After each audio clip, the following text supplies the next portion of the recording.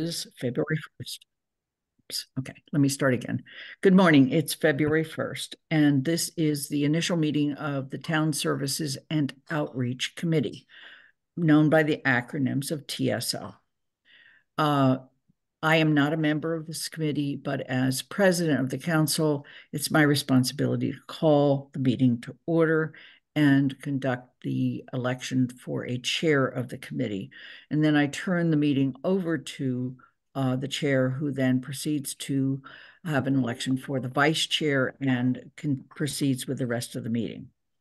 So with that, let me just start by saying um, the open meeting law allows us to continue holding meetings remotely without a quorum of the council physically present at a meeting location. Uh, at the same time, we provide access through Zoom and the phone. Um, given that we have a quorum of the Town Services and Outreach Committee present, I'm calling the meeting to order at 10.01. And with that, I would like to ask if there are either nominations or self-nominations for the position of chair. Bob Hegner. Yes, I want. Count, Councillor Hegner? No, no. just Bob. Great. Uh, okay, Bob Hegner. Yes, I would like to nominate Andy Steinberg. Andy, do you accept the nomination? Yes, I do. Are there any other nominations? Andy, would you like to say a few words? Well, I'm very uh, appreciative, Bob, of you uh, nominating me. Uh, the reason that I had expressed uh, an interest in uh, being, at least for this year, the chair of the committee is that uh, I'm the one member who was on last year who's repeating again, so that the work that we had done last year, which is expressed in the carryover memo, uh, I since I was the one who was involved with it, I felt that I could contribute um, some guidance in the process. So I think that was it. I think it's a great committee, and any any member here is capable of being chair. But that was why I put my uh, put my interest forward to Bob. Okay. Um, and seeing no other nominations, I'm going to ask someone to put the following motion in place, and that is to uh, elect um, Andy Steinberg, Councillor Andy Steinberg, to the position of Chair of Town Services and Outreach. I need a motion and a second. So moved. Is there a second? Second. Thank you. And we're going to move to a vote. I'll try to do this in alphabetical order. Hala Lord. Lord, I. Uh, Bob Hegner. Aye. I'm sorry, it was Councillor Lord. Um, Bob Hegner. Um, Councillor Ryan. Aye. Andy Steinberg. Aye. Jennifer Taub. Aye. It's unanimous. And with that, Andy, I'm going to ask that Athena put me in the audience and you take over the meeting. Yeah, well, thank you, Lynn. Thank you, everyone on the committee, and I appreciate it. And I'll try to uh, not let you down. Um, and uh, proceeding to the agenda as we go through the agenda, election of vice chairs next, and uh, so I'll put it up for uh, nominations. Uh, Jennifer. Um, I'd like to nominate Councillor Ryan for vice chair. Councillor Ryan, do you accept the nomination? Yes, I do. Are there any other nominations? Seeing no one else asking for uh, recognition for to make a nomination, uh, I think what would be in order is uh, a motion uh, to. Point of order, um, you, you should probably give Councillor Okay. Ryan an opportunity to make a Yes, I'm comment and, and, and anyone else an Thank, opportunity. thank you, thank you, Athena. I don't have the, the guidebook in front of me for elections, so thank you. But, uh, Councilor Ryan, would you like to, uh, Yeah, just just briefly, Andy, thank you. Uh, Jennifer, thank you for the nomination. And uh, You know, I, I actually was involved in helping create this committee um, in the early years of the council. I served on it. Um, briefly, I was chair of it. Um, so I know it well. I'm very fond of it. I actually believe, I personally think it's my favorite committee. I know that sounds a little weird to some people, but uh, town services and outreach are two things that I think are really important. I, I think I work well with Andy and uh, I would certainly give him all the support and help I can. Uh, so yes, I would uh, be delighted to serve as vice chair if that's the will of the committee.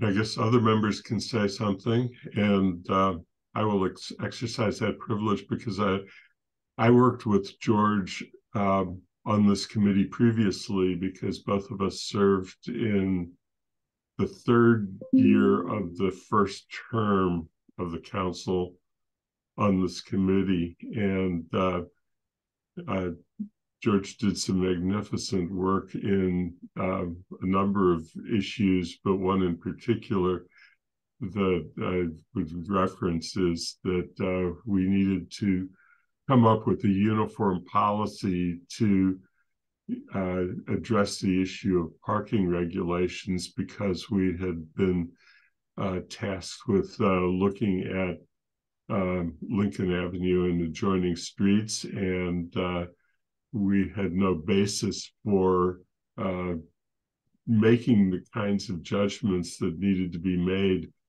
And develop uh, George helped by uh, leading in developing a policy that not only um, then was able to be applied for Lincoln and reached a resolution on Lincoln, but um, also is used at least in one other street, which is Kendrick, and is a standing policy. And I think that that was a magnificent uh, example of the kind of leadership that uh, brought to the committee, and uh, glad to be serving with them again. So, um, anybody else would like to make a statement? And if not, then I guess we're uh, uh, ready for a motion. Athena, the motion would be uh, to um, To el- elect Ryan as committee vice chair for 2024. Okay, I will put that motion forward. I'll second. so the motion has been made and seconded, and uh, I'll just go alphabetically again because I think it'll be easier. Um, Councilor Lord, Lord, I. uh, Bob Hegner, Aye. Councilor Ryan, Aye. and I'm an I, and uh, Jennifer. Aye. So it is unanimous, and uh, we have a chair and a vice chair, and we can move on to um, the meeting schedule that was proposed. Uh, and it was in the packet, so everybody had a chance to see it. It was developed, I think, by Athena. Did you develop that? Yes, I um, tried to take into consideration all of the other committees that um, members serve on and the, the other committee meeting schedule, trying not to schedule both TSO and um, CRC, I'm sorry, TSO and GOL on the same Thursday so that people don't have a, people who serve on both committees don't have a four hour commitment on, in one week, on one day. Um, and then I also um, put, in case some of the spacing between weeks doesn't make sense right off the bat, I put TSO on second and fourth Thursdays. Um, if I may, Andy, CRC opted to put an, a meeting, a second meeting in July, in the early part of July, when I had proposed just one meeting in the latter part of July, um, that to kind of mimic the council meeting schedule. Um, but it's up to the committee if they'd like to keep a placeholder meeting for that July, probably would be July 11th, um, and then cancel it if if they don't need it. And then because of the timing of Thanksgiving and the the other winter holidays, Um, TSO has only one meeting in November and December. CRC opted to um, double their to piggyback their meetings with Finance Committee on the Tuesdays in November and December so that they can keep meetings, um, keep two meetings on the schedule in those months. So TSO um, could choose to meet on the same days as GOL in November and, and December if that is preferred. So do any members of the committee, uh, let's start with July, want to propose that we put a placeholder on uh, July 11, I think was the date that you mentioned. George? Uh, Councilor Ryan? Yeah, um, I think it's a good suggestion. I, I think this is a fine. I first of all, I appreciate very much what Athena's done. She's had to juggle 14 balls at once. I appreciate uh, putting this meeting on alternate uh, uh, Thursdays uh, so that some of us don't have an entire day devoted to uh, committee meetings. so I'm very grateful for the work she's done. Um, I don't have a strong feeling on this, but perhaps a placeholder for the July 11th meeting might make some sense. we also certainly can just call a meeting um, if we see the need, and that may very well happen in the course of our work. Um, that's my thought on it. Would you, uh, Councilor Ryan, suggest that uh, as we list July 11, that we put something in there about uh, if needed or tentative? I'd have no objection to that. Okay. Um, Jennifer? Yeah, I don't want to belabor this. Um, I think maybe it was the first year I was on the council. We had this for an August council meeting, and I think people tend to make plans assuming we're not having a meeting. You know, when they see that on the calendar, and I think when we did have to add it, there were people scrambling. Um, so I'm also concerned. Yeah, I think some of the thinking for not. I mean, I realize we if we need a meeting, we pro probably have to have it, but um, the, the thinking behind not having meetings in July was so staff could plan vacations. So I'm concerned if we, a week or two before, decide we need a meeting, you know, I guess I'm asking Athena what impact that has on the staff side. Um, Andy, if I can speak on this. Yeah, uh, Athena. Um, it's been my experience that come July, folks appreciate a break, not just staff, but counselors come back from the break in July feeling from what they've told me, from what some counselors have told me, that the time off has been really beneficial. Um, I think that people take the if needed meetings both ways. Some people plan around those as though they will happen, and some plan around those as though they won't happen. So, from that experience, I would say either put it on there or don't. so that so that it's clear that it's there. You can cancel it if you don't need it or don't put it on and don't plan to have a meeting. And if it if it comes time then and you feel that you need to schedule um, another meeting in july then we can work with everyone's uh, vacation schedules and make sure that it's on a date that works for everyone.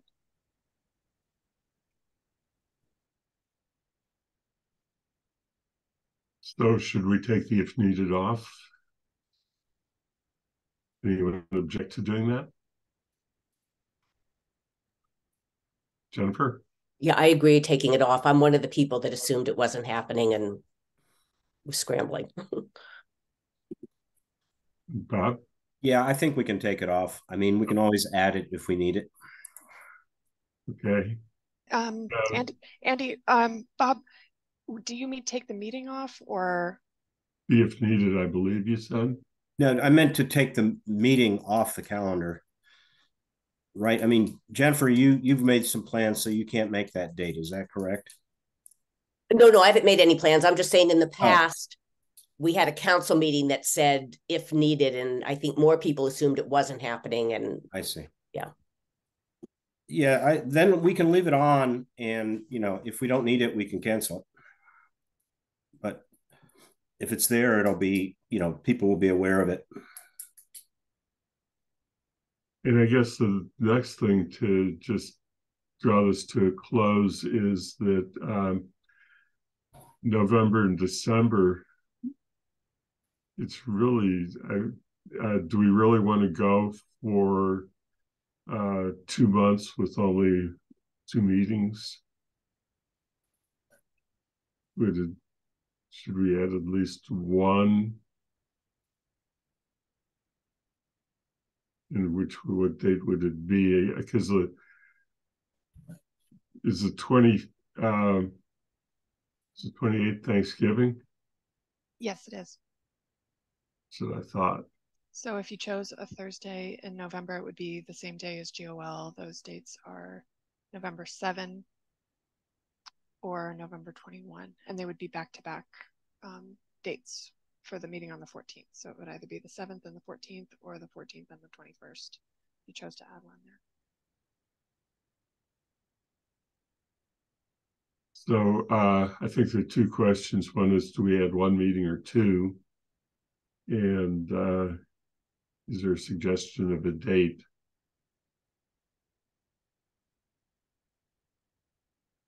Jennifer? Well, I think we definitely don't want anyone to have back-to-back meetings on the twenty-first, four days before Christmas, so, Oh, I'm I- sorry. Th- those were November dates. oh, not December twenty-first, okay. Oh, hmm. For November, it would be the 7th or the 21st. In Okay. December, it would be the 5th or the 19th. If you wanted to add one. And all four of those dates are GOL meeting dates. And that impacts George? So I say we leave it up to George. I, I think for one, I mean, it really, uh, it, it seems like a big gap. Um, and I, and I see that. And I think I could uh, survive, uh, one, uh, perhaps two sessions where they, because it would be a, a ten AM meeting and then a, uh, probably a six thirty or seven thirty meeting. So there'd be four hours of council, of committee meetings on that particular day. But that would not be the end of the world for me. I could certainly manage that if we think that we really should be meeting a little bit more often at that time of the year. Um, so I, I, I guess my answer is if the committee wants to meet more often, which does seem like a not unreasonable thought, given that uh, our meeting schedule currently, I could live with one or perhaps even two uh, back-to-backs. Do you have any uh, suggestion about date? I'm looking at my calendar. Um, we are currently scheduled, we're talking about uh, November, we're meeting fourteenth. Um, I think, yeah, the seventh is, is perhaps, is that, uh, I don't know. I really don't. Um, but, uh, Thanksgiving is the twenty-eighth, is that right? Correct. Yes. That's also my birthday, so for what it's worth, that happens every, like every ten years or something. Um, um, so, yeah, anybody have any thoughts? Uh, I think you all should decide what you think is the right frequency, um, and don't worry about me on this matter. Uh, Andy, if I can make a, a suggestion, perhaps because the holidays are later in the month on both, in both November and December, the earlier dates would be a better idea so that people don't have to worry as much about conflicting with holiday plans. So November 7 and December Yeah. 5th. I Yeah. agree. I agree. That makes sense. The other one I had thought about, but is the December five. Okay. And these are meetings, we can also, we can cancel them if we need to, but it's, I think, uh, Jennifer's right, having it on the schedule um, is, is focuses our minds, and if needed, is probably not a, a, uh, a good idea. So why don't we put them in, and, uh, we'll see how things play out.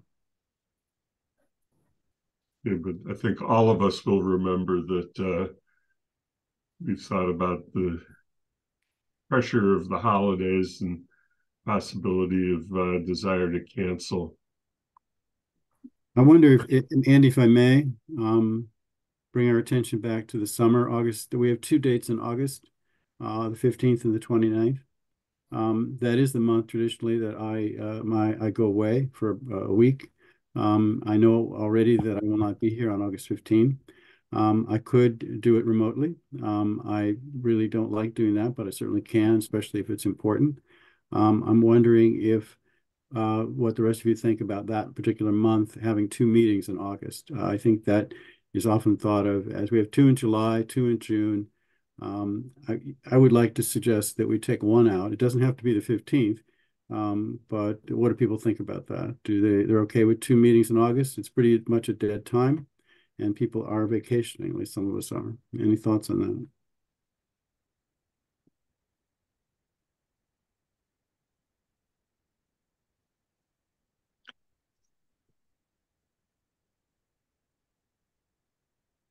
Bob has a hand up.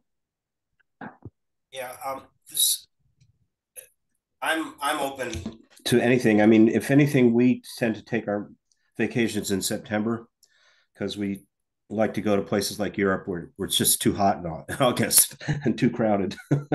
so, um, so I will, you know, I'll have to work around the September schedule. It's perfectly acceptable to be absent from some meetings too. Um, and just a note about the August meeting dates. The council, the finance committee, GOL and CRC all have two meeting dates in August. Um, so folks will have to decide whether they want to do What's- those what- meetings. What's wrong with those people? It's fine. And it means, two- it means two meetings each month, which is fine. All So right, we- we so should- shall we leave it as is? Um, and Paul, did you have a comment or? Yeah, I do also want to mention that, you know, uh, in terms of staff attendance, staff do take vacations, and so you you may have a meeting, but you may not have staff, you know, in attendance that you might need. But so we can, but we can schedule things as we talk about the schedule, so we know where staff are at, at certain times. So uh, staff, I encourage staff to take vacations during the summer, um, which is usually the best time for the staff. That's when they want to take them. So as you, we can, but we can manage your agendas to uh, manage where when staff are available.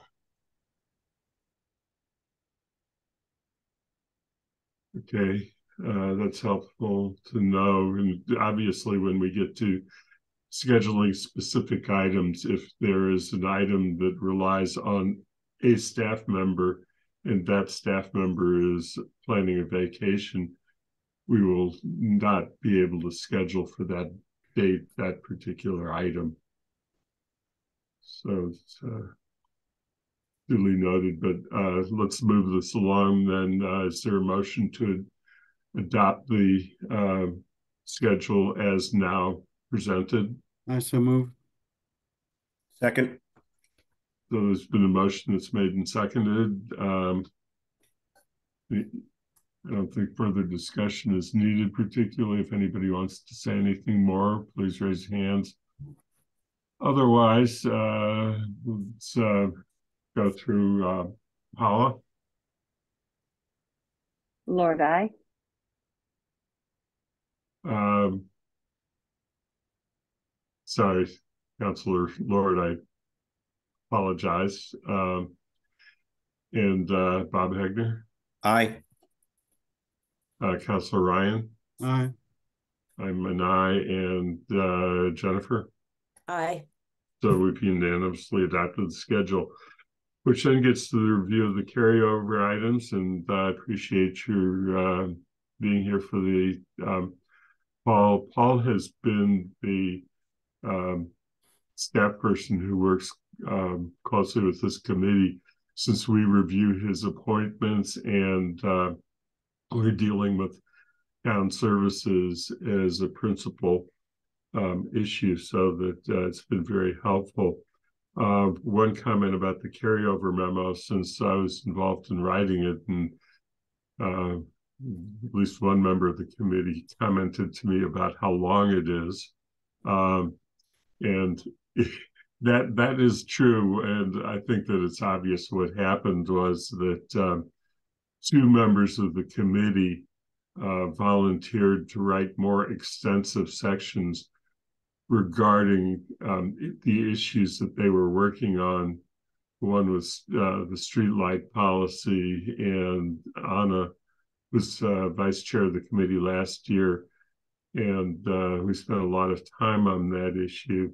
So she volunteered to write it up, knowing that uh, uh, we needed to be able to pick up on it in uh, as we proceed. And the other um, was uh, Shalini Bahl-Milne, who uh, is a co-sponsor with Jennifer and me and Alicia from council of the uh, waste hauler. And uh, as you will note as you look at that section, um, it was written by Shalini, and she has spent a lot of time in her last months on the council because she's very, was very committed to the issue and wanted to make sure that um, it was continued for consideration and discussion in this council. So that's why it's as long as it is. The actual memo is um, that introduces all of this is a lot briefer. Uh, so uh, I guess the first uh, see if there are general questions, but otherwise, what I would like to do is just go through the automatically carried over section first that is beginning on page one of the memo um, and see if there are any questions. And uh, so that um, you have an opportunity to um, get up to speed on these issues and uh, we can get reports from Paul where they're appropriate and uh, go through the items that are listed because everything that's in that first section of what will be automatically carried over, including the two that have uh, the more extensive reports appended at the end of there. So, and then um, what I want to do uh, is a uh, follow up item then um, is uh, we have the items not uh, our upcoming agenda items is the way it's listed on the agenda, which would be an opportunity if there are other things that people would like to get our thinking about um, to to um, allow people to address things that they think the committee ought to be considering in the next year. Does that seem like a good way to approach it? And if there's agreement, then uh, let's start see if there are any questions about the North um, Pleasant Street pedestrian improvements, which is item number one.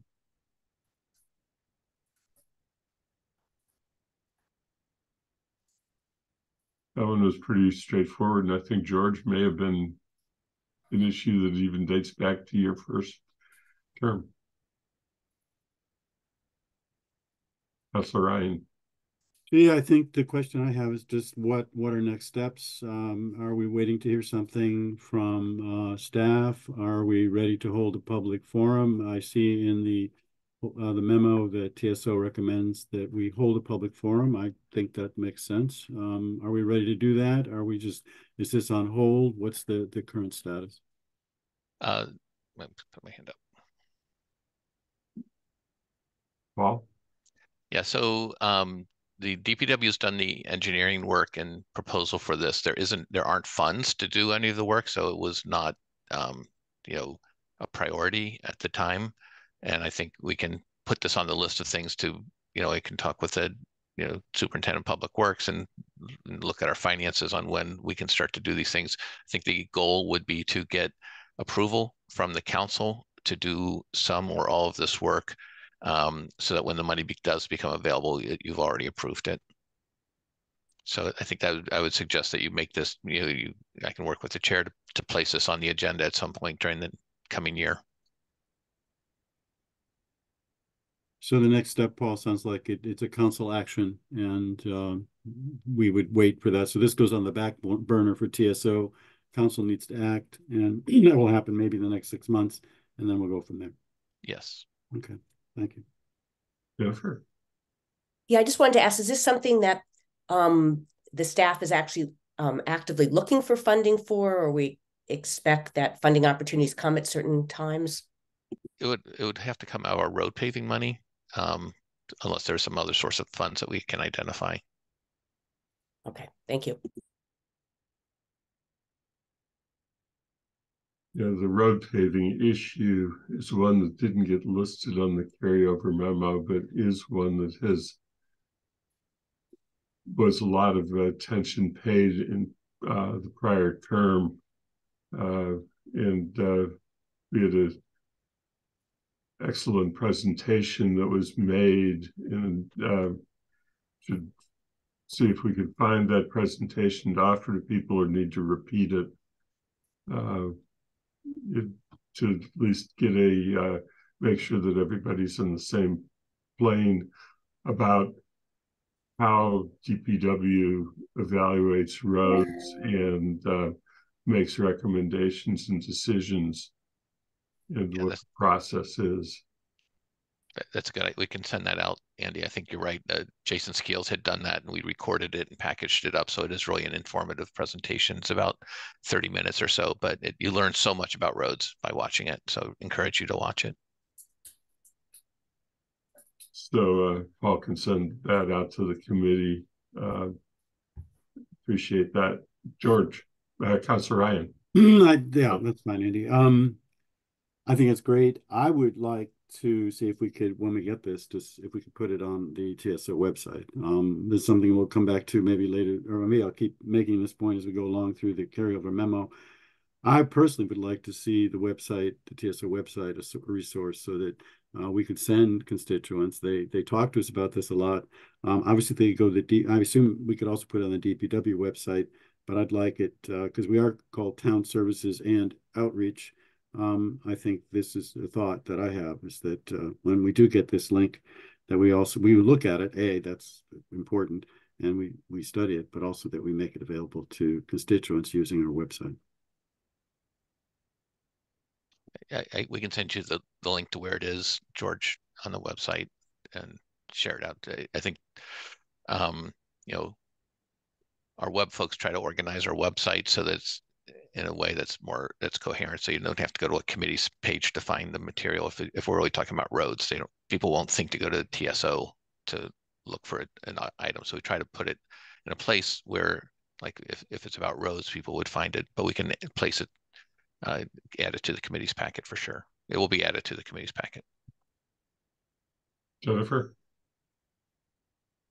Um, yeah, I just wanted to say I remember a couple of times sending it out of my new the link to the video in um my district newsletter.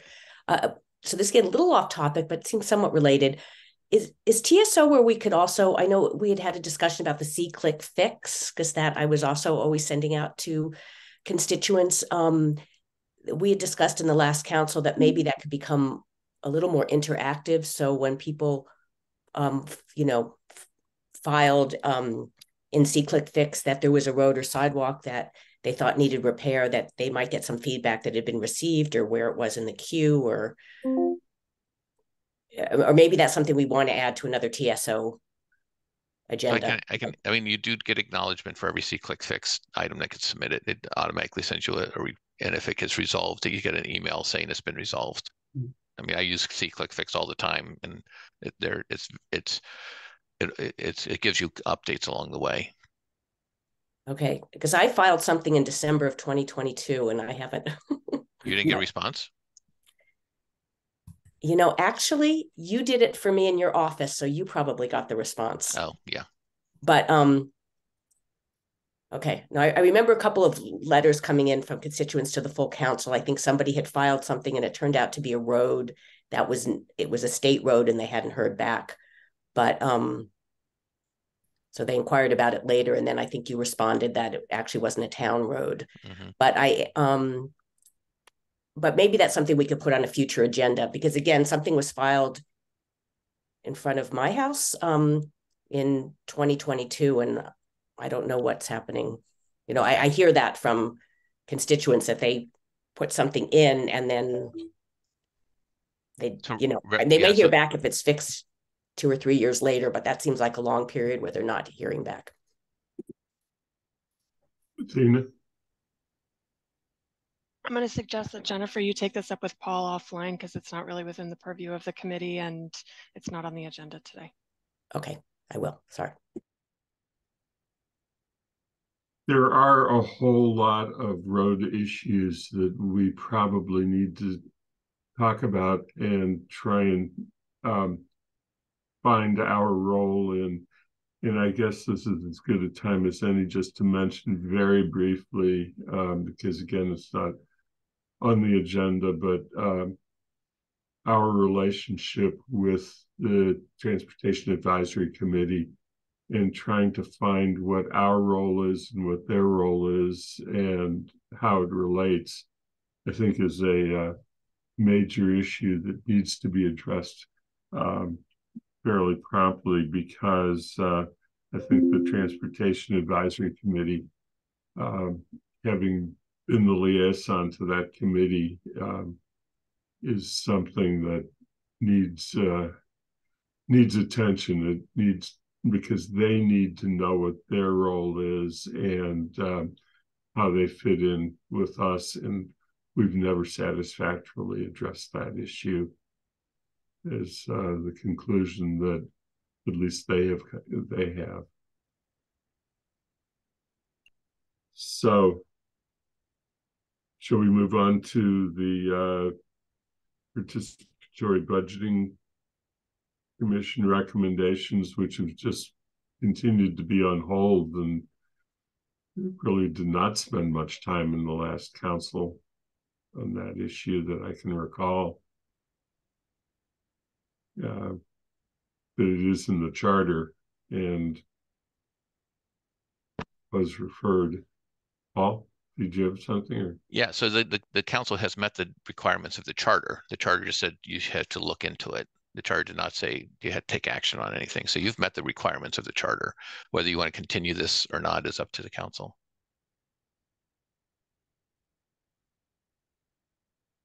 Jennifer? Yeah, so I was not aware that um, this had been referred because I haven't been on TSO before, but I think it's a great, maybe long overdue um, suggestion to have uh, the a town gown committee as part of the participatory budgeting process. So how, if we wanted that, if we wanted to move forward to make that happen, would it have to go back to the full council or has it already been referred to TSO? The there has been report given to the town council. So if you want to, you should review that and decide if you want to move forward and when you want to move forward on whatever recommendations they have. So how do we make that? Do we want to make that part of how, and do we want to, and how do we make that part of this committee's what we're going to work on or look at? I think we would have to schedule it as an agenda item. Uh, Athena? There was a council referral in 2021, Paul, to TSO um, to refer to Town Services and Outreach Committee to explore the development of a town gown working partnership on participatory budgeting um, as outlined in the report. So it is within, it, it has been carried over in TSO over and over again. It's, it's in their, within their duties. Um, but they just haven't taken it up in years. So you may have forgotten that it's already come to them. Thank you. Councillor Ryan? So it sounds like this item, um, we have a report we need to read, and at some point it could be put on the agenda if uh, the chair wishes, or if there are enough members of the committee who want to put it on the agenda for discussion. Um, so I think this is a future item. Um, at the moment, some of us have some homework to do. And at some point, uh, perhaps someone can ask this to be put on the agenda. I would not be one of those people, but uh, there may be three who would like to have it on the agenda at some point. But right now, I think it's it's a it's a back burner issue, and uh, we have some report to read.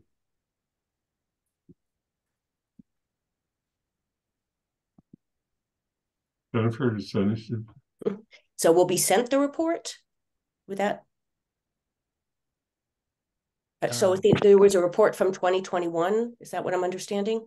The, the participatory budgeting group um, created a report back in 2021. Oh, so I it's just their that. full report and that's Yeah. part of that. I can find that and share that with the committee. And when it goes on the agenda, I'll put it in your meeting packet. Okay, thank you. Okay. Um, the next item is the uh, refuse and recyclable materials uh, piece, which has a much longer section uh, is noted previously that follows, and uh, some of it, I think that uh, three members of this committee went to an MMA session on this issue, and Paul was at that session too. So the four people present who were at the MMA uh, presentation that dovetailed exactly. Paul, you want to? Could we invite Guilford into the meeting for the next, this item and the next item? Because he could have updates, direct updates for you. Is he available? He's here. Okay. I can invite him in. Yes, please bring.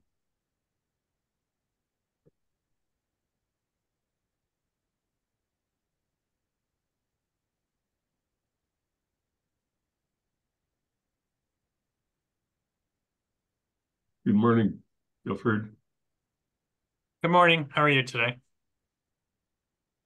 Well, doing well. Um, so we have two items that in the first one we're talking about is uh, getting an update as to where we are with the uh, trash hauling bylaw, the waste uh, uh refuse collection recyclable materials bylaw, and uh, I think that where the last um, TSO was at was that uh, we were waiting for um, a report from the RFIs that had been received. So we've received the RFIs. Um, Susan Waite and I are going through them, and we're trying to come up with a cost range of a cost range for the items that we asked for in the RFI, and then come up with sort of a come up with a background on our uh, cost estimate for running a program if we wish to do certain things.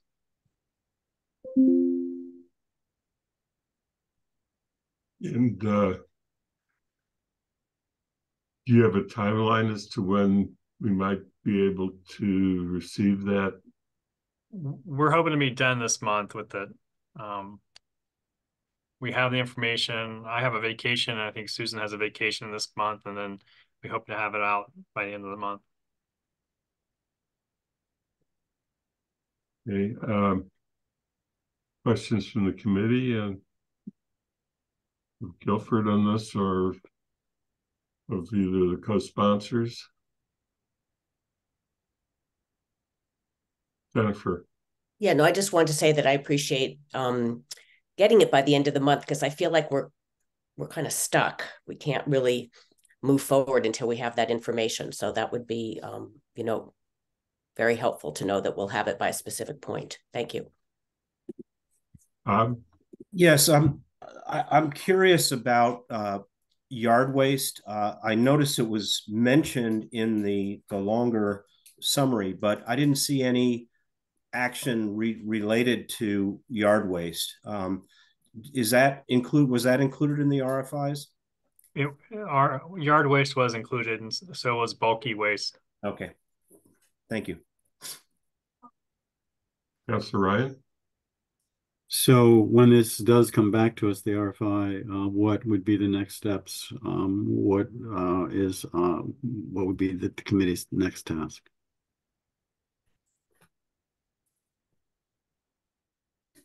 I think the, the decision by the committee is to decide what you want to do. If you want to continue moving forward, what additional information you feel you're going to need, if you want to move forward or not.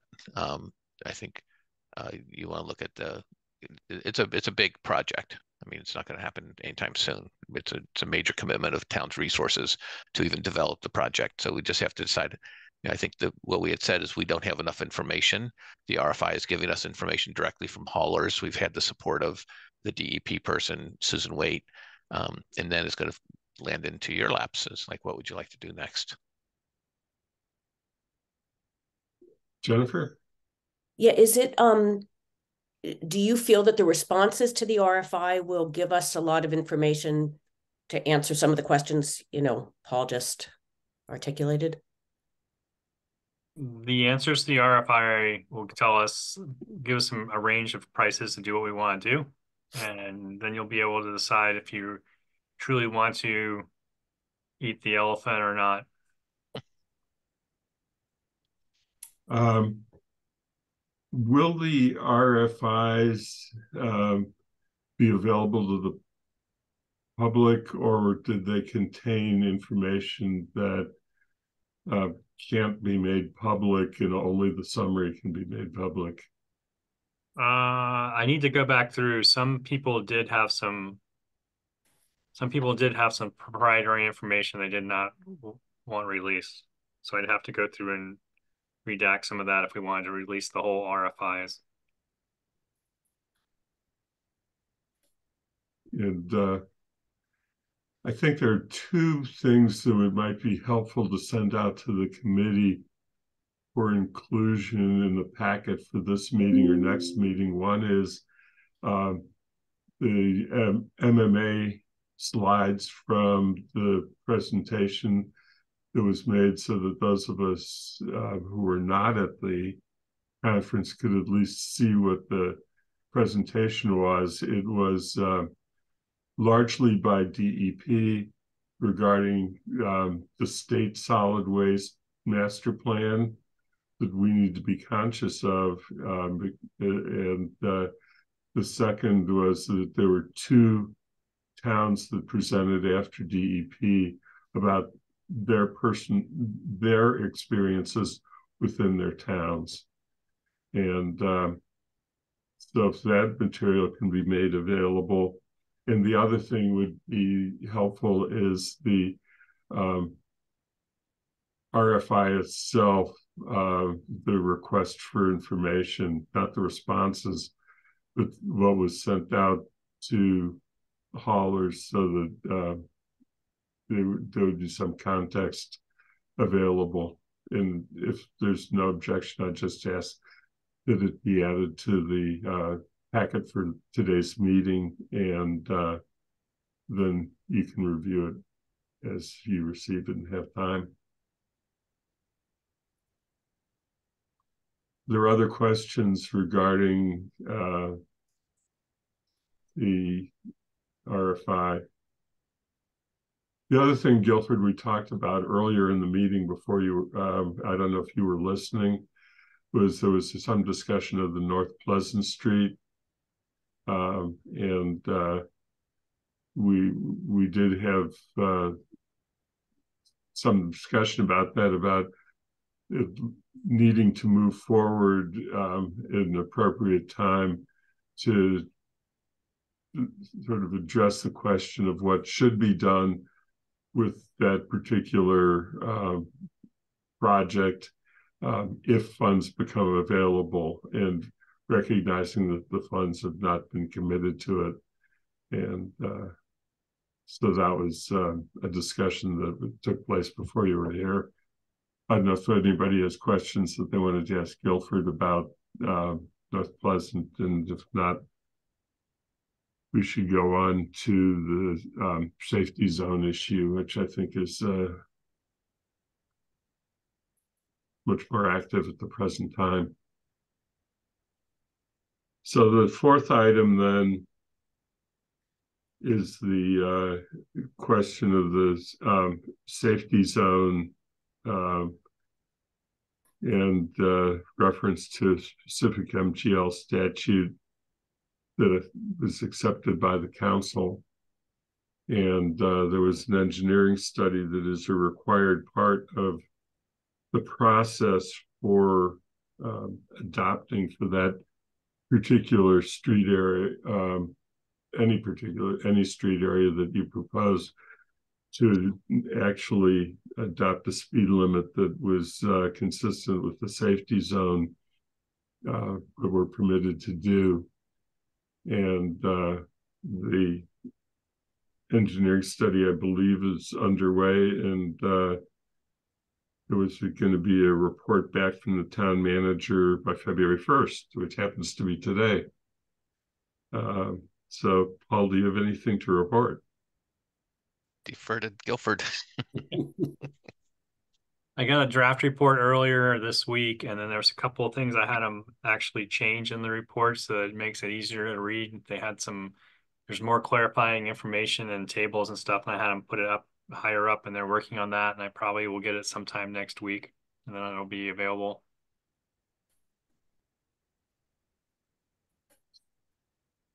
So, other uh, Jennifer. Yeah, just for my own clarification, I can't hear you, Jennifer. yeah, I'm sorry, I was on mute, I'm sorry. Um, is this particularly about Henry Street? Or, yeah, okay, not townwide. Thank you. Yes, it's just Henry Street.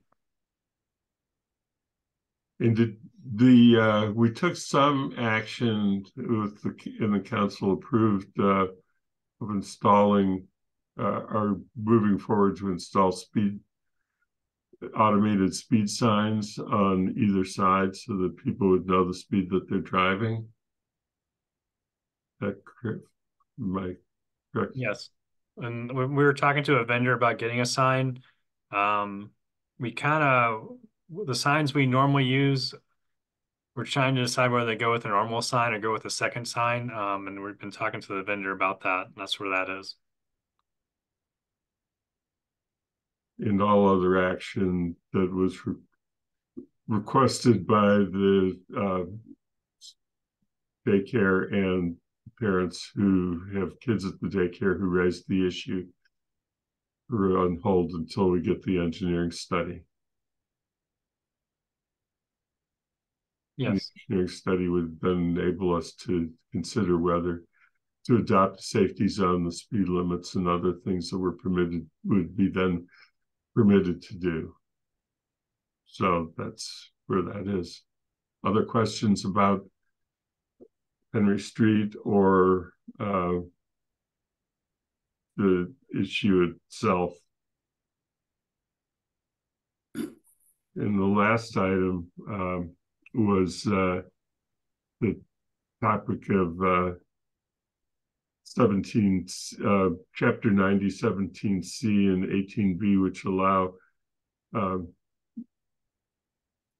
speed limit uh, decisions to be made under certain circumstances that are provided by statutes. And as noted, the prior discussion had to do with um, 18B, which is uh, one that was accepted by the uh, council on prior recommendation and is the activity that's involved. Uh, but uh, 17C is a uh, different section. Um, does anyone uh, have questions or want to make an ex? Can someone make an explanation of 17C?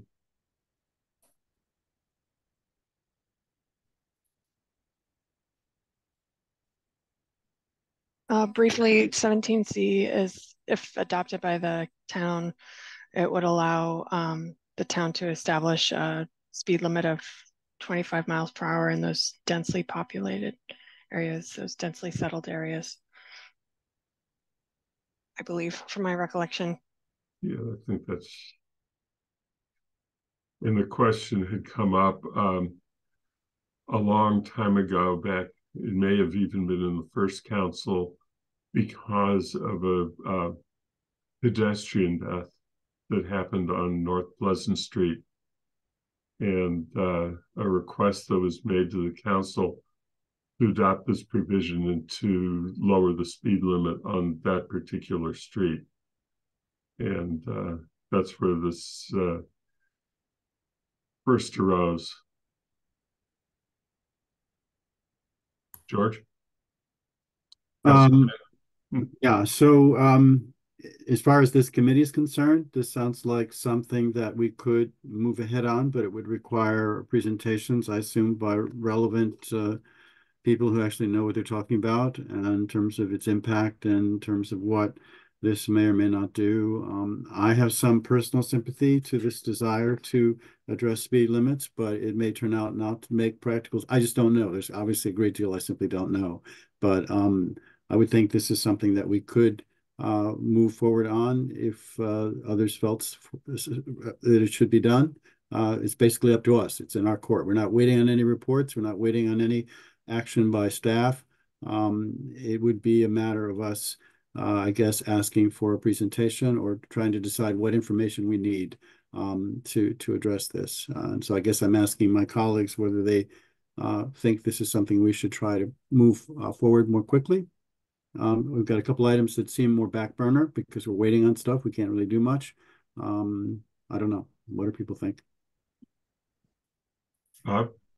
Uh, yeah, what I'd like to know is um, how much of the town would be impacted by this speed limit and and where would it be i mean i when, when i was canvassing i had one homeowner um, on Shays street uh, request that the speed limit be lowered there all the way to route 116 because the the the the, the district for the or the the light the flashing lights for Crocker Farm didn't go far enough and people were speeding. So uh, there must be other places like that in town where we should focus on that. So I, I don't I don't know if we have that information or if that we should you know request that information from the public or what.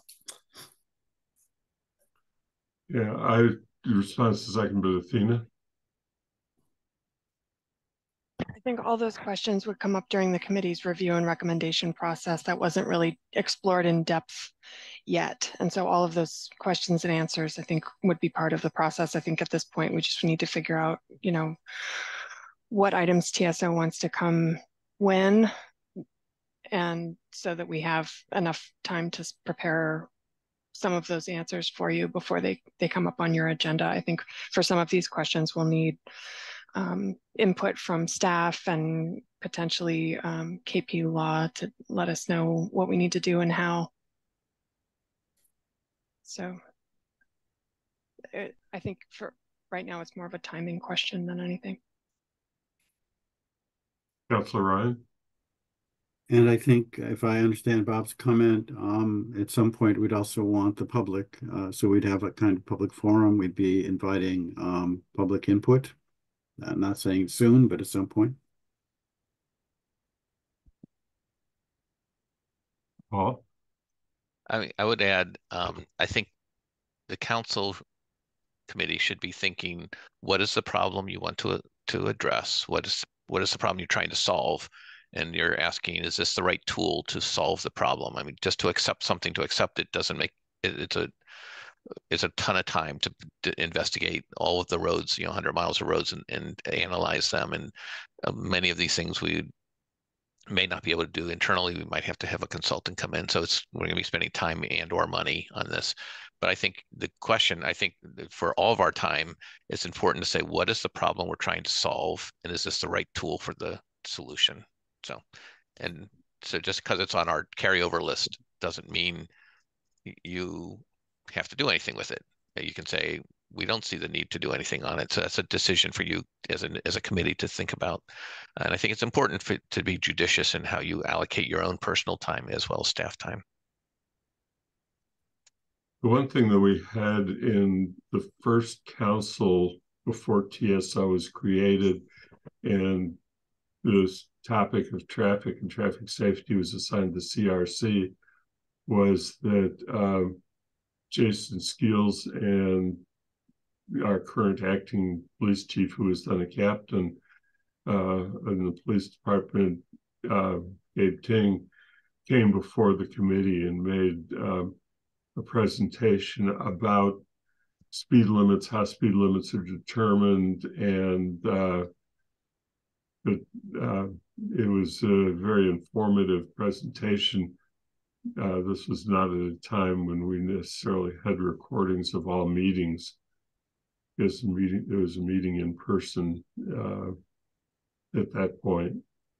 Uh, whether that kind of a presentation should happen again is something that we ought to be considering as to whether someone from DPW and the police department could make a presentation to this committee. Jennifer? Yeah, I just wanted um, to confirm that this is a different conversation than Henry Street, that we're looking at, okay, Henry Street. Okay, thanks. It's a different, uh, they're two, as noted, they're two different sections and uh,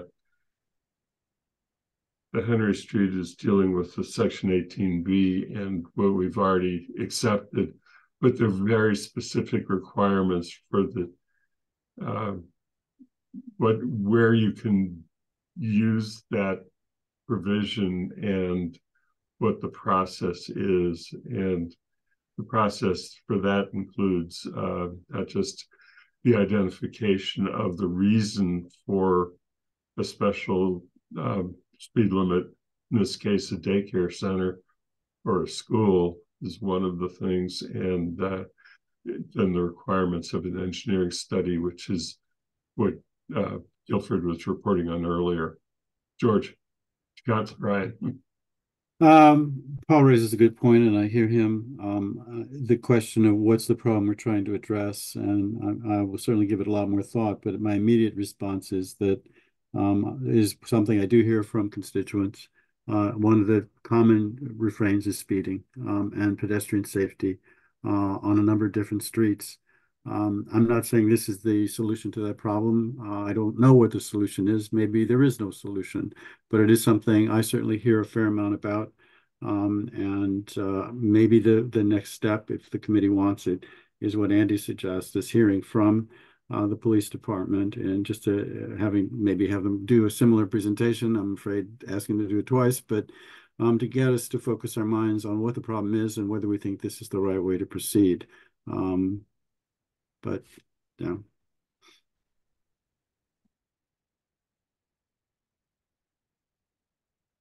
Uh, Bob? I was just thinking the police department probably also has data on where they've issued citations for speeding, and we could ask them to provide that information. I think that would be very helpful. Paul? again, I would say, what is the problem? You, you, know, is there a road that you want us to look into? I mean, I mean, uh, just general information is really good. It's useful, and I, I, appreciate that. But I think that if if you're asking our staff to say we have to say is speeding an issue in the town of Amherst, we can have a general discussion. I don't think that'll be very satisfying um, because the answer is always yes. Um, pedestrian safety is always yes. Um, it, but it's it's helping us understand where are you hearing the concerns because you hear it a lot more frequently than we do, and that's what's helpful to us.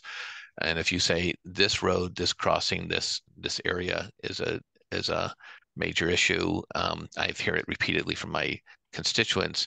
Then we can look into that and come up with a plan of action for you to convey back to your constituents saying here are things that we can do here are things we can't do and here's the likely impact of what we do. Because um, it, it it does come up and usually it comes up not through a committee it comes up through individual counselors saying you know I'm, I'm hearing from my neighbors people are speeding and it's it's something that we would address through police enforcement or something like that. But if it's a more uh, continuing thing that and you you want a more permanent type solution that takes it to a different level of the conversation. But again, I think the specificity of what the of the issue is is really important um, in terms of making our meeting. You already you have limited number of hours of meetings, uh, making those productive.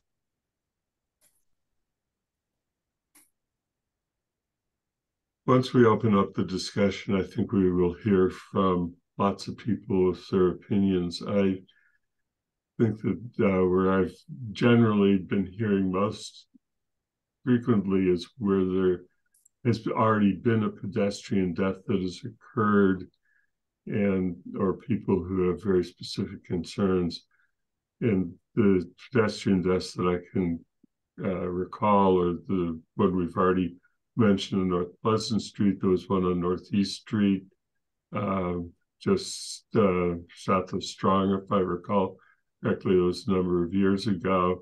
And I know that one of the uh, property owners on that section of roadway, which is 45 miles an hour from Strong Street until almost uh, getting to uh, Main Street, is uh, something that this particular individual has uh, felt is too high and needs to be a lower number and has discussed that with me multiple times. Um, the ones there are several pedestrian deaths that occurred on streets and the university campus, and there's a question of who has jurisdiction there. Because those those roadways are actually university roadways. So those, uh, that's my comment about yes, I do hear specific things and what they generally tend to be. Um, so uh, let's, is there an interest in getting at least a general presentation of so that we have a better understanding of how speed limits are determined and what what what what we can do if presented and then address uh, specific situations as they arise. Because I know that this uh, one citizen on Northeast Street will come back again as soon as there's an opportunity to do so.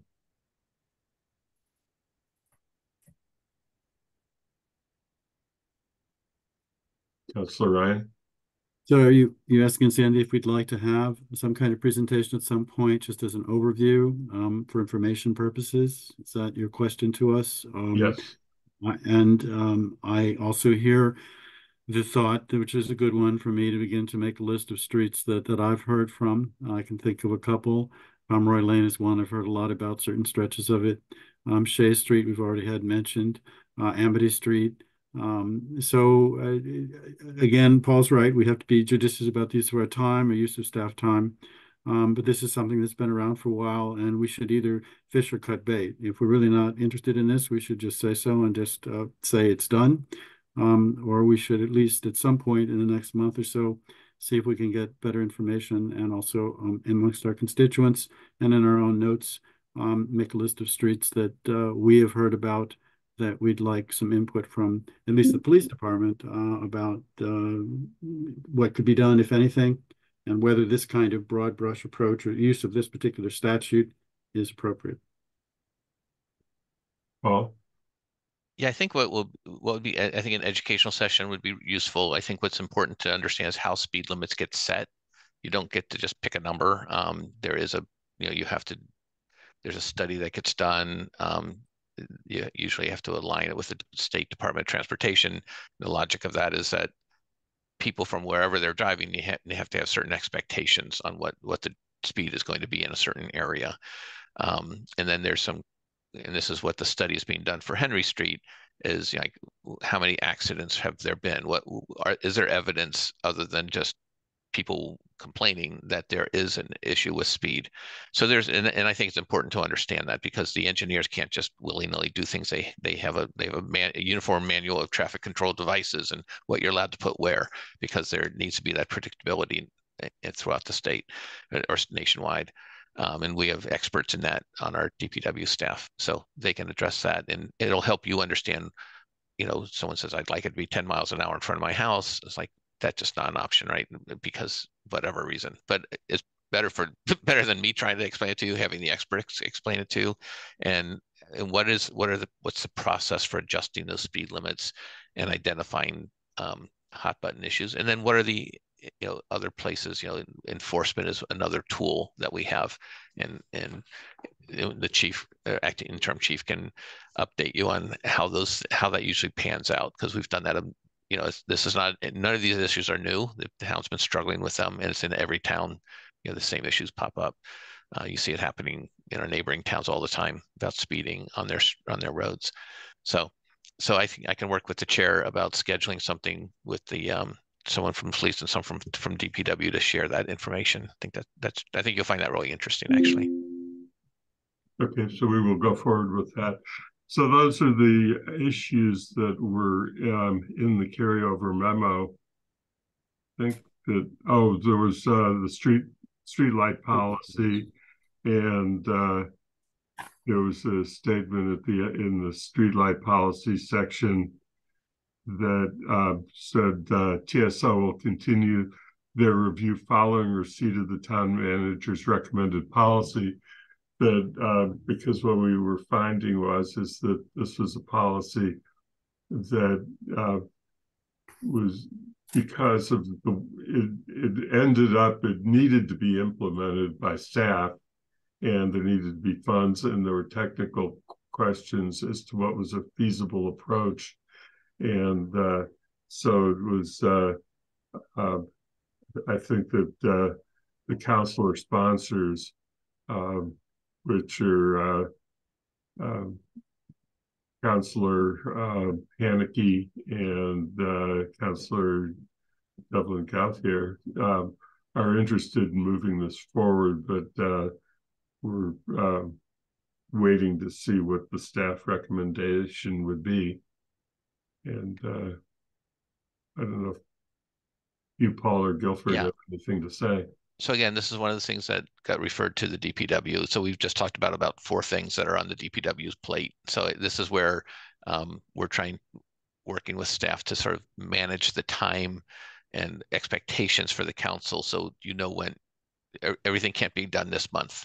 Um, and so we just want to set expectations on when you can expect to see things. This is in, in our court, the street lighting thing. It's also one of those topics as Guilford has started to dig into it more and um, Councillor Hanneke sent a, additional links from information she gathered at the MMA annual meeting um, that you know you start to peel the onion and it becomes it's very complex and there's I think there's not depending on you know it's just trying to develop information for the council because I'm not sure where the council exactly is on this on this topic.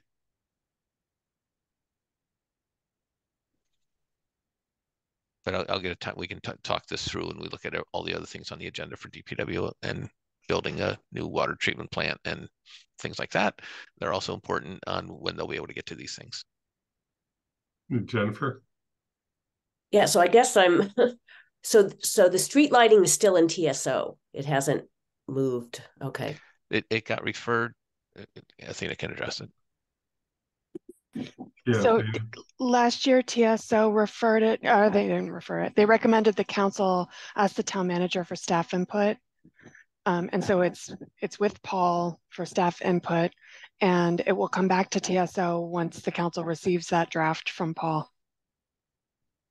So it's still with TSO, but it, it's not ready for TSO to be taken up yet. Guilford?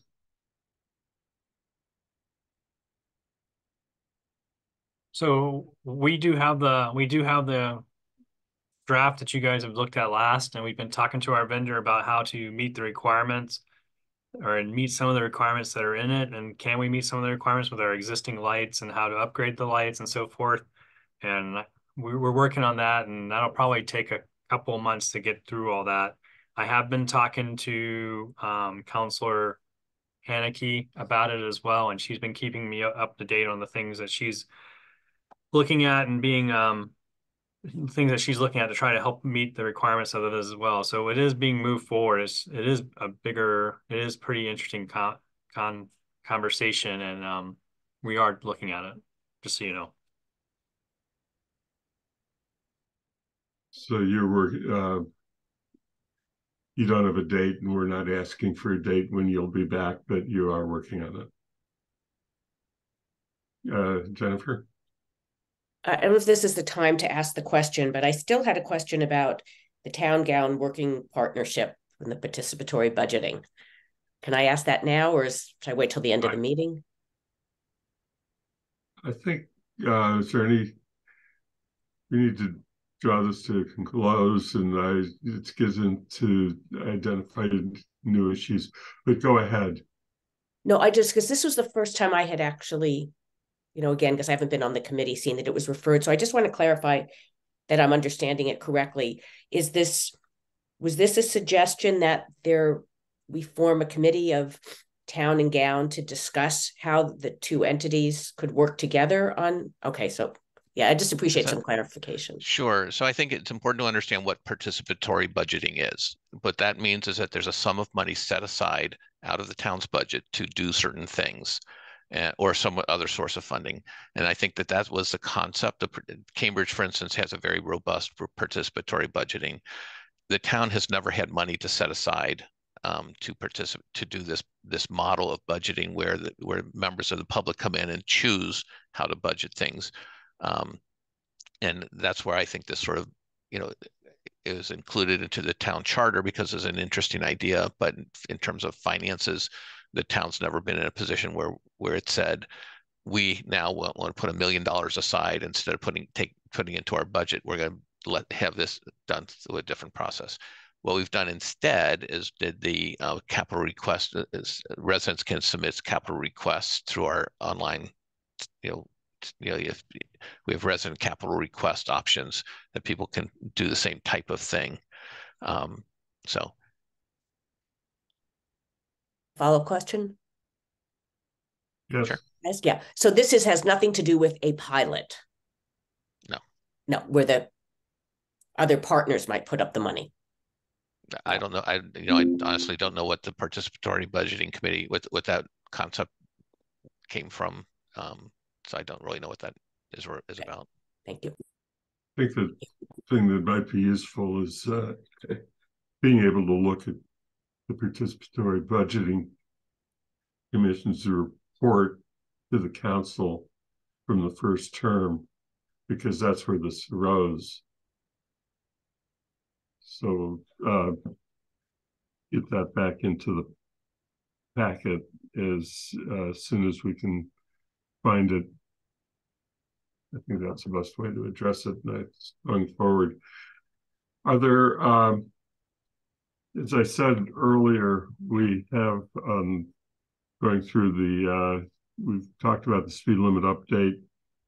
Um, we need to do public comment, which I will do in a moment. Um, and uh, upcoming agenda items. I think that we should uh, have an opportunity for all of you to see what you would like to see on future agendas that is not there. So, uh, but first, let me see if there's anybody who is a member of the public who would like to um, have to, uh, a few minutes to make a presentation of uh, an issue that's relevant to the committee. Uh, that is a standard part of our meetings for all committees and uh, for the council. So I invite members uh, who are in the audience to raise their hand if they would like to offer public comment today.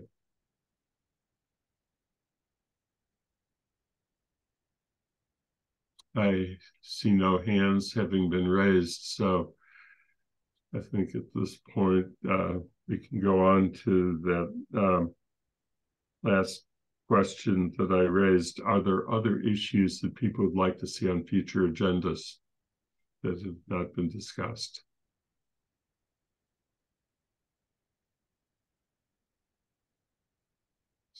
George, uh, Councilor Ryan.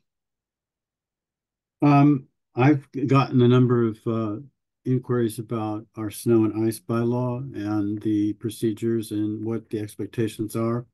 And uh, so I would like us to see if we can get some clarity uh, about what people are required to do. Um, I walk a fair amount in my neighborhood, and uh, it's it gets pretty treacherous. Uh, I've gotten some uh, special shoes now, so I can make my way up Amity Street and down.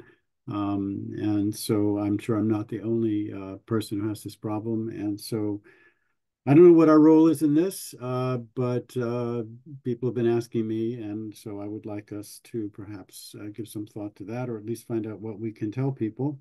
Um, I've already mentioned the TSO website, and I would like it to be more robust, uh, but that's something perhaps we can discuss at a future point. Um, and I'd also like us to see if we could uh, have a discussion perhaps invite members of the Council of Aging, but I'd like us as a committee, since we deal with town services, to learn a bit more about the age and dementia study and what is being done and how that's being implemented. Um, more information than anything else, and an opportunity for the senior community to address us as a committee about the services that they receive and what they are getting and what they would like to get. So I guess three things, the TSO website and how it could be more robust, um, I'd like to see if we could talk a little bit more about this, uh, learn more about the snow and ice bylaw and get clarity with that. Um, and thirdly, I would like us to look at the age and dementia study and invite members of the senior community, perhaps uh, Council of Aging, um, to have a, just a conversation. There are three things that I would like us to consider at some point. Good, thank you, Jennifer. Um, yes, well, first, just to respond to George, um, GOL took up snow and ice removal and obstacles to the public way. We strengthened and revised that bylaw, and it's now actually within the inspections department. So I don't know if we'd want to maybe ask Rob just to come in and say a few words about that, um, because it is a little different, and we really tried to um, address that and be able to strengthen enforcement and be very clear on what the property owners adjacent to the sidewalks, uh, what their responsibility is. Um, I agree with George. It would be, um, I would really like to address senior services. So um, a presentation on that would be, um, I think, would be terrific. And also, I guess in terms of the waste hauler bylaw, if the report was going to be done at the end of February, we don't have another meeting until March 14th. So if we could look to the March 14th TSO meeting to have um, the report from the from Guilford, that would be terrific.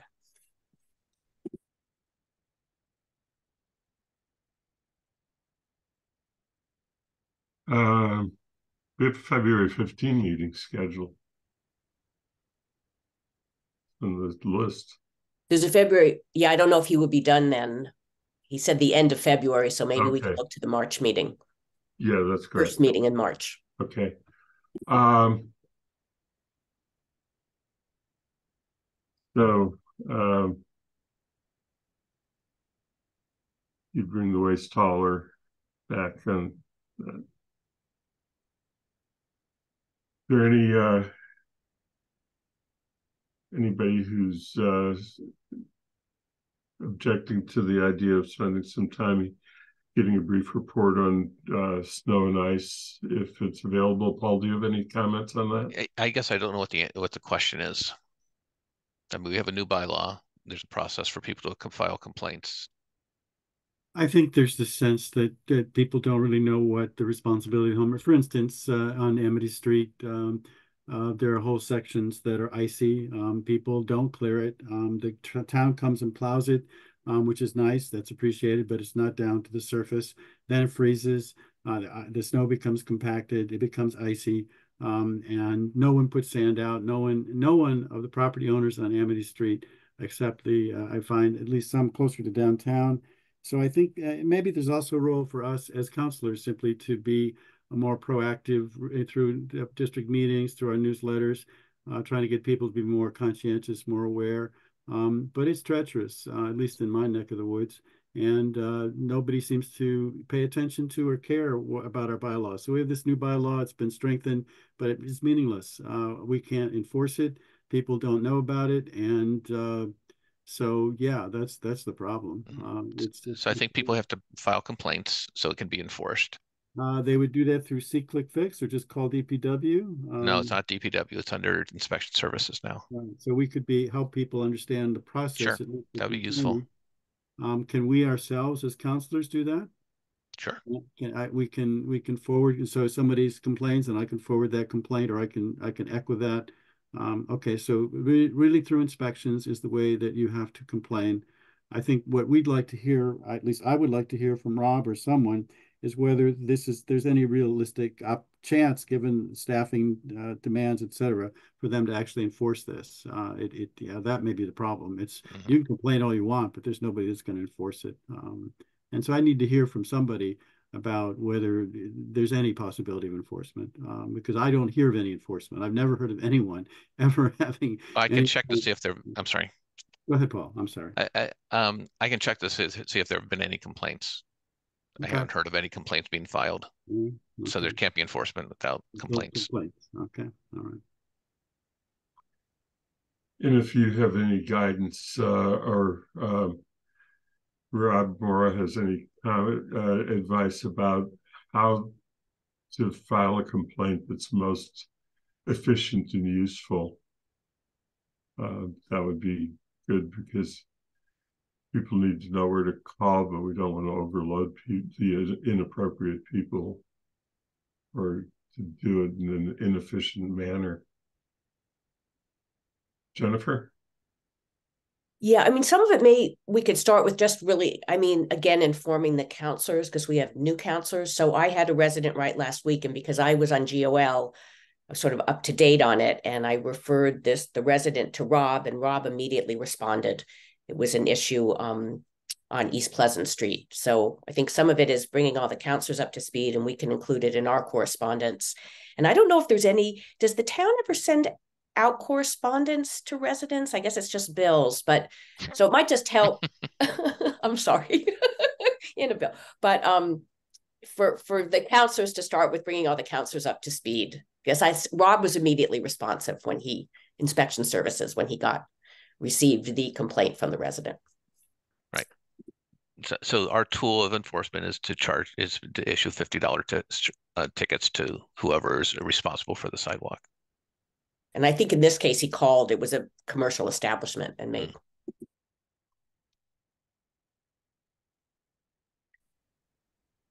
Okay, I think that uh, is very helpful. So what I would like to do is um, meet with the vice chair and the town manager at an appropriate time and uh, try and uh, start developing an agenda plan for the committee of for each meeting, what it is that we seek to do and try and start uh, doing the actual committee uh, planning for agendas.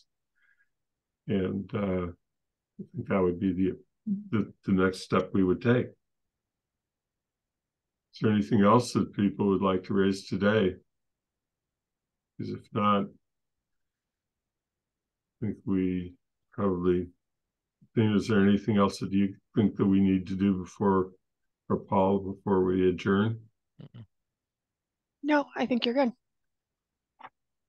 So I, at that point, looking to raise hands to see if there's any last minute uh, thoughts people have. Otherwise, I think that we are adjourned. I will uh, work with uh, Athena and Paul to set up a meeting time that works that can involve uh, the Councilor Ryan and myself, and we will take the information discussion today and try and uh, do a first step at uh, a plan for the committee for how we'll move on these issues and what the schedule is. So that said, I think we're ready to adjourn and the committee uh, is adjourned. Thank you. Thank you. Thank you. Thank